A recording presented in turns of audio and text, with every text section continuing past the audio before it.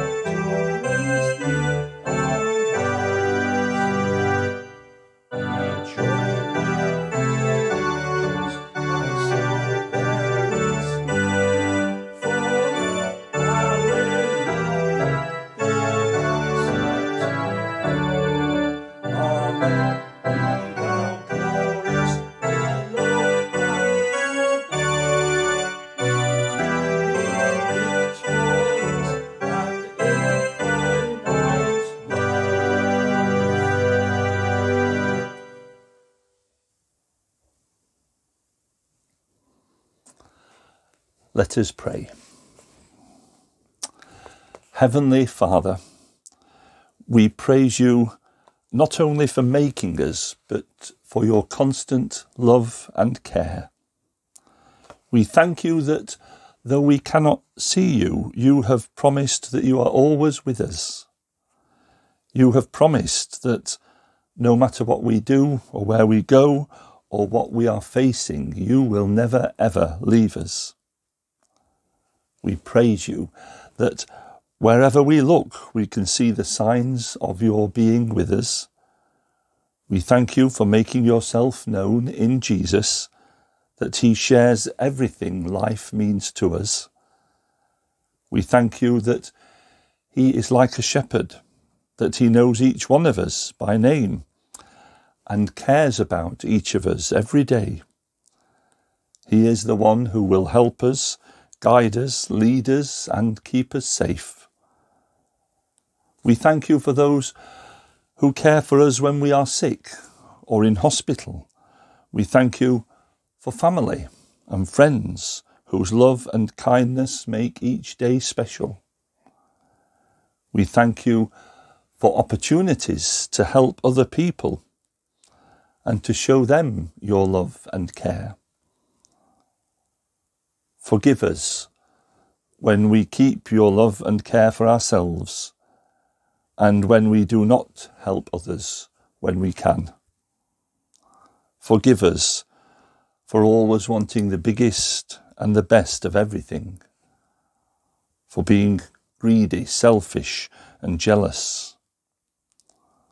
By your Holy Spirit, give us the strength we need to follow Jesus We ask this in his name. Amen. And let's join together in the Lord's Prayer.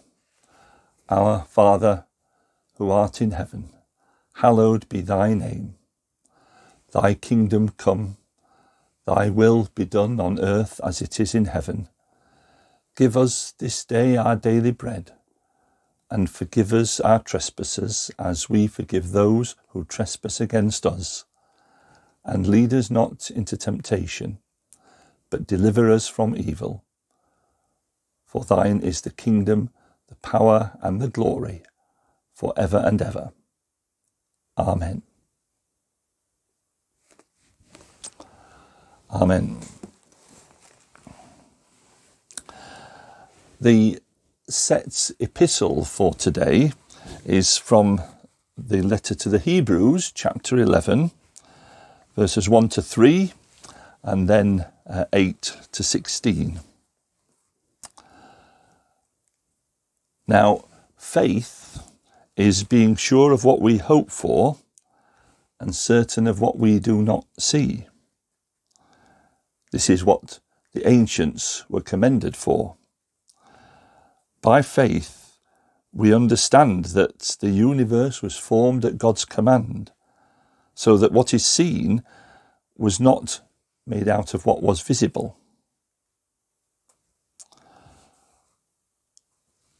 By faith, Abraham, when called to go to a place he would later receive as his inheritance, obeyed and went, even though he did not know where he was going. By faith, he made his home in the promised land like a stranger in a foreign country. He lived in tents, as did Isaac and Jacob, who were heirs with him of the same promise.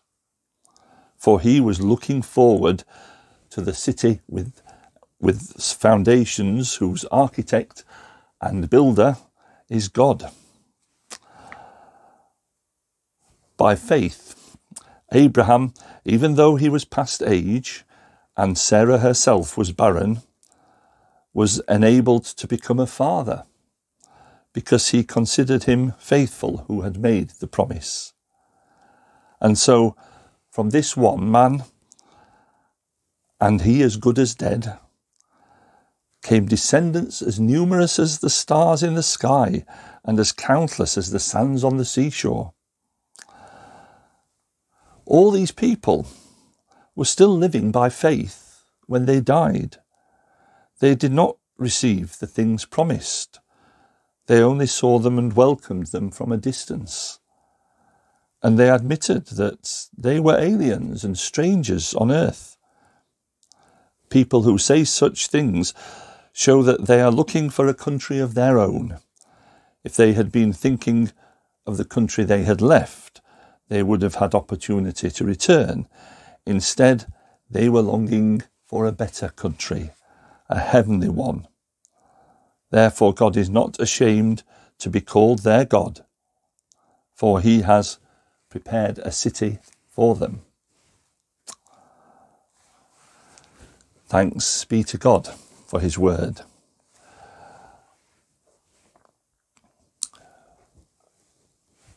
One of the virtues that I think is in short supply these days is the virtue of patience. We're not very good at waiting for things. It's one of the fruits of the Spirit love, joy, peace, patience, kindness, goodness, faithfulness, gentleness, self control, just to show that I have got them all memorized. But patience is one of them. And we're not terribly good at it. I, it's been a while since I read um, a book called Slower, all about uh, the the need actually to just slow things down a bit, not take things at such a hectic pace. It wasn't a Christian book, it was uh, an analysis of the way society is speeding up. And I don't remember much about the book now, other than uh, the example of uh, the symbol of why society is, is faster and more impatient than it was. And that's uh, in a lift, you often get a, a door close button. Uh, actually, I'm not sure you do see so many of these these days, but it was perhaps a thing that was more common 10, 20 years ago. But I can understand the door open button in a lift. You want the doors to open uh, if someone's rushing towards the lift and uh, you, you, don't want them to miss out.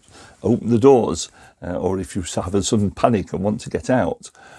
But door close buttons are really only there for impatient people who are in the lift. They're waiting for the lift to take them to a, uh, the next floor up or down, whichever it may be, and the lift isn't moving and they want the lift to get on with it. And so they press the door close button as a signal to say, We're ready, get on, get on with it, lift, close the doors, get moving. The book that I read said that in most lifts, the door close button does nothing. I don't know if that is true or not, but the claim was that it was only there to give impatient people the the sense that they were doing something rather than just having to wait on the whim of the lift to decide when it was time to close the door and move. I don't know. But the fact that people do push that button, whether it does something or not, is a symbol of impatience. We can't wait just a few seconds for the lift to do, to do it. We've got to be hurrying things up. I want to get to the next floor that I'm going to, so come on, get on with it. In a slightly more serious setting, imagine uh, life in our parents' and grandparents' generation.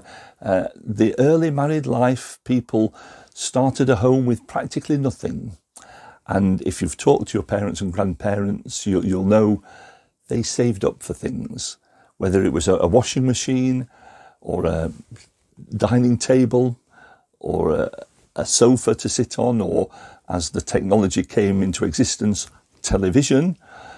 These things they saved up for patiently. They waited until they had the money and then they bought them, and there was great rejoicing in the household when finally they had a dining table to eat off, for example. These days, people don't want to wait.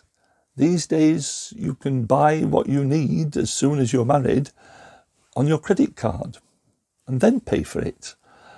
And I'm not saying whether that's good or bad, I'm just pointing out it's different. Instead of saving up and paying, you get what you want and then you pay for it afterwards. That seems to me a symbol of impatience. We're not very good at waiting. The writer of Hebrews talks about people who were waiting patiently in faith, trusting God to keep his promises. And they were prepared to wait a long time. Even and this is the verse that struck me as I read this through, all these people were still living in faith when they died. They did not receive the things promised. They only saw them and welcomed them from a distance. And that had me thinking, well, how, as a preacher, am I supposed to promote ideas about faith in God, trusting God to keep his promises, and waiting patiently until he does, when we may end up dying before God's kept his promises.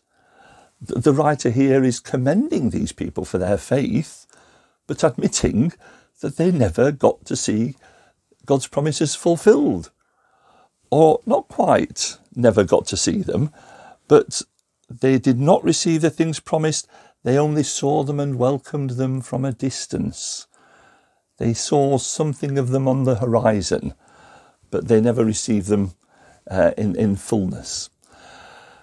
And, and it got me thinking, what sort of promise is, is that? When we put our trust in God, when we expect God to do something to help us, we don't want him to do it one day distantly in the future, even after we've died. We want it a bit closer than that. And isn't it right sometimes not to be patient? For example, we pray for an end to war. We don't like to see nations fighting and people dying as a result. And God has promised that there will be a time of peace when swords will be beaten into plowshares. Or we, we have God's promise for a time when there'll be no more mourning and sadness. Sickness, disease will be no more. People will not suffer as they do now. And why should we be patient for those things? If God's going to do these things, why doesn't He do them now? It's uh, important that war ends because people are suffering. At the moment, we have the conflict in Ukraine where people are dying and suffering in all kinds of other ways. And we don't want God to put an end to that, oh, sometime in the distant future. We want God to do something about it now. Every day's delay, more people are suffering. If there's someone who's suffering through sickness, we don't want healing eventually. We want healing now so that the suffering can end. And th- there is quite a, a valid argument for telling God to get a move on. Why are you hanging about, Lord? Why not do something straight away? Some of the, the Psalms take this attitude. How long, Lord? They, they cry out. How long are we going to have to wait? You, you've promised help. You've promised to save us. You've promised to do something. Get on and do it. Don't leave us hanging around waiting. And this is very much the opposite attitude to the one that Hebrews talks about, where people wait patiently for God's promises to be fulfilled and they keep faith in God even if those promises never come true in their lifetime. Is there a, a difference between those sort of promises and our expectations for God to do something now to stop the suffering? and maybe the the kind of things that people put their faith in for those long term uh, promises are to do with with the bigger issues. Um, the end of war as we know it, peace on earth, God's kingdom of, of peace, the end of suffering, the end of pain, when there'll be no more death, no more pain, no more suffering. God makes these promises and says these will come about one day. Uh, but they're, but they're big things. They're not going to happen quickly. We must wait patiently for them to come about one day. Maybe they're the kind of things that we, we should be patient about. What was Abraham's promise? Let's look at him because he may actually help us to understand this. And Abraham's promise was about a large family not just that he would have a child of his own, even though he was older and beyond normal childbearing age, and his wife Sarah was certainly beyond uh, the, the, age when she would normally be able to have children. But God's promise was, You will have a child, and from that child there'll be many, many descendants. It was important to the people uh, of Abraham's day that they were able to continue their, their line and that there would be others uh, following on from them. And that promise was a very personal promise to Abraham. It wasn't about the big picture. It was about Abraham himself having a family that continued beyond his own death. And he did get to see the start of it. He got to see Isaac being born. I mean, Isaac on his own isn't more than the stars in the sky or the sand on the seashore. Uh, you can count Isaac very easily. Um, although, in fact, interesting sideline, you may remember Abraham did have other children. He had Ishmael that uh, he conceived through, uh, or was conceived through Hagar, the slave girl. But it was through his wife Sarah that Isaac was born and became the legitimate heir. The other interesting fact is that actually there's a, a verse somewhere that tells of uh, Abraham having more children through another uh, mother uh, after Sarah had died. Uh, it wasn't just Ishmael and Isaac. There were one or two others as well who never became famous and just get, barely get a mention in the Bible, but they were there. But even then, they're hardly uh, numerically the equivalent of the stars in the sky. That bit of the promise was something that only came much, much later. Many generations later, the, Abraham, the descendants of Abraham had grown so numerous. But Abraham started to see it. He started to see the promise fulfilled in Isaac and his birth. And maybe those big promises that we have that war will come to an end, that there will be um, an end to pain and suffering, we, we start to see now there are moments of hope, moments when uh, our spirits are lifted and we think we're heading in the right direction. Sometimes it might seem we've taken three steps forward and two back, or in the worst case, two steps forward and three back. But th- there are those signs of hope. Remember when the Berlin Wall came down? Uh, great excitement, and, and that seemed to be very symbolic of some big changes going on uh, and an end to the, uh, the terror of communism. Then we had um, the Arab Spring and, and the hope that was developing there. And yes, we still are struggling. There are still wars, there's still oppression, but there are signs of hope, something for us to, to be encouraged by. I've been reading a, um, a bit of history uh, recently, and uh, if you go back to the Middle Ages and uh, the, the earlier times in our history, and even a few centuries ago, um, life was, was very much harder then than it is now. Uh, whatever you think of the politicians now, at least they're not in fear of having their uh, heads cut off because they disagree with other politicians or disagree with the Queen or the King. But that's what used to happen. And the ordinary folk, uh, they, they, were, they were uh, so abused and so misused through, through taxes, through battles where they were killed indiscriminately. And sadly, yes, that is still happening in some parts of the world thankfully, um, I and I suspect many of you watching this live in a nation where uh, we can sleep safely in our beds and not expect to be suddenly raided by the police and whipped off to prison for no reason. Uh, we, we don't see uh, people wandering with guns in our streets and, and so on.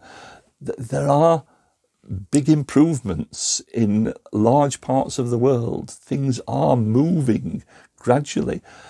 We've still a long way to go, but the signs of it, we can start to see that, that God's promises will be fulfilled. And so we still have faith. And we still need the urgent prayers. We still need sometimes to call out desperately to God, to God we can't wait. You need to sort this out, Lord. But we still need to trust God for the big picture He's not forgotten us. He's not abandoned us. He's working towards it. Some of these glorious promises that God made are not going to be fulfilled and sorted out just in uh, a day or two, a week or two, a year or two, even over a lifetime. They're, they're long term projects, but we can be part of it and we can still hold true to our faith. But one of the promises to Abraham, which I think the writer to the Hebrews is talking about, comes out in our gospel reading, which I'll come to in a moment. But to introduce it, we're going to sing again. This is a simple chorus. We'll sing it through a couple of times. Open our eyes, Lord. We want to see Jesus. Let's sing together.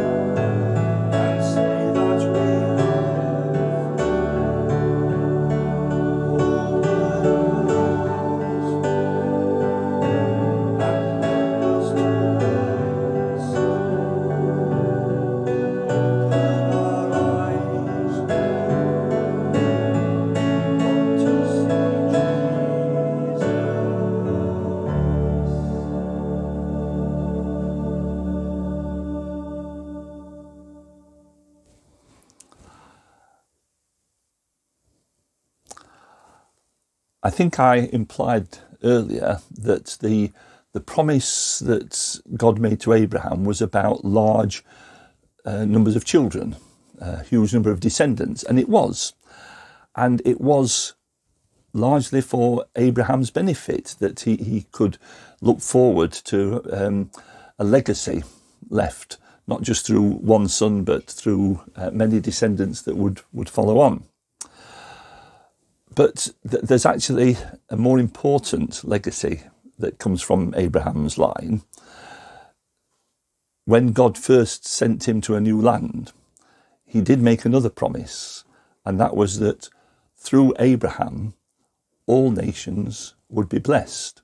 What God was doing was not just for this one man as a, a help to him and a, a benefit to him and a promise that was just about him and his family. God's promise was that through Abraham, all nations would be blessed. And we know that that came true most of all in one particular descendant of Abraham called Jesus. Jesus came to reveal God to us he came to die for us, to rise again. He came as the promised Messiah, the Saviour that was long expected and hoped for, wished for. Abraham's descendants were many, but this one in particular was the one through whom God was able to bless all people. And that promise was true, made true in the coming of Jesus, but he's still not fully fulfilled. Jesus himself still spoke of the time when he would come again and would bring about his kingdom in some more dramatic way. The, the set gospel reading for today uh, includes these verses. This is Luke chapter 12 and reading from verse 35 uh, to 40. Be dressed, ready for service, and keep your lamps burning, like men waiting for their master to return from a wedding banquet, so that when he comes and knocks, they can immediately open the door for him. It will be good for those servants whose master finds them watching when he comes. I tell you the truth, he will dress himself to serve, will have them recline at the table, and will come and wait on them. It will be good for those servants whom, whose master finds them ready, even if he comes in the second or third watch of the night. But understand this if the owner of the house had known at what hour the thief was coming, he would not have let his house be broken into. You also must be ready, because the Son of Man will come at an hour when you do not expect him. Well, there's a lot of thoughts in there, but the, the strange one is this idea of the master arriving home after partying for much of the night at a wedding banquet, finding his servants still awake and watchful and ready, and as a, a reward, he serves them. He sits them down at the table and, and acts as their servant. It's very unrealistic. I don't think even the most generous of masters would arrive back home in the middle of the night and treat their servants quite like that. Um, but it, it's a parable, it's a story to illustrate a point. And it's illustrating the important point that Jesus is not only our Lord and Master, he also comes to serve. There's the famous uh, Graham Kendrick song, This is Our God, the Servant King. And, and we see Jesus doing this when he washes the disciples' feet, the act of a servant. He is master, he is Lord, but he comes to serve. But what we need to do is to watch out, to be ready, because we don't quite know when all this will happen. And this comes back to our faith, our expectation. Yes, we have to be patient. It may happen in our lifetime, it may not. We've seen the start of it. We've seen Jesus come and die on the cross and be raised again. So we know God is at work in Jesus. We're yet to see the fulfillment of the promise when God's kingdom in all its glory will come to this world and Jesus will be acknowledged by all and every knee will bow and every tongue confess that Jesus Christ is Lord. This still is something that we've yet to see and we may not see in our lifetime, but if we have faith, we can see it far off and welcome it already. With those thoughts in mind, let's pray for this world. Let us pray. Lord God, we trust in your promises for a world of peace, a world without suffering. And we confess that we are impatient to see this happen. We long for suffering that we see around us to end quickly. And we pray for that. We pray for healing for those that we know are unwell. We pray for peace in Ukraine in other war torn parts of our world. We pray for an end to oppressive governments, that people can be set free to worship you, to live their lives in peace, to have successful livelihoods, to prosper in all ways. Lord, we long to see that happening in our world. We thank you for signs of hope when we see even the glimmer of such things happening. But we pray for your presence to, to change this world. Help us in the strength of Christ to be part of that process, that your kingdom may truly come on this earth as it is in heaven. And all this we pray in the name of Christ our Lord and Saviour. Amen. And now may the blessing of God, the Father, the Son, and the Holy Spirit rest upon you and give you peace and give you faith and keep you patient as you wait eagerly for his coming. God be with you now and always. Amen.